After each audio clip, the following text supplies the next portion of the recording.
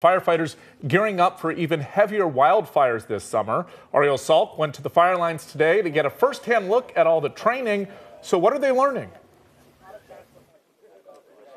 Yeah, so 160 firefighters from all across Oregon, including the folks that are right behind me, are learning those techniques on how to battle wildfires.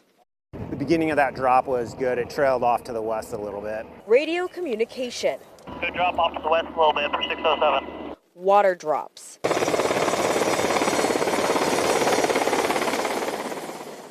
And creating fire lines. In the grass. Are just some of the techniques over 160 firefighters from around the area are learning to battle wildfires. What are some of the key takeaways you're, you're getting today? Uh, I think a big one is teamwork. Uh, working with all these different agencies and districts and uh, departments, we got to work together. Structural firefighters don't face the same challenges as those in nature.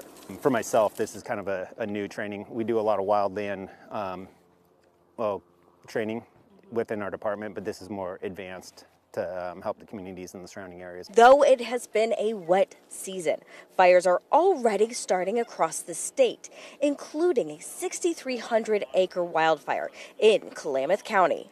You know, we've seen in the last couple years a lot of wildfires in the surrounding areas, and uh, you know, people are losing their their property, and um, so this is great for us to be able to come out and um, execute this kind of training. So, uh, how do you feel about potentially battling wildfires? Does it give you a little bit of anxiety? I think it always will, yeah, but uh, it's something important, and it's good that uh, I'm learning how to do this properly with all these uh, people who have all this experience.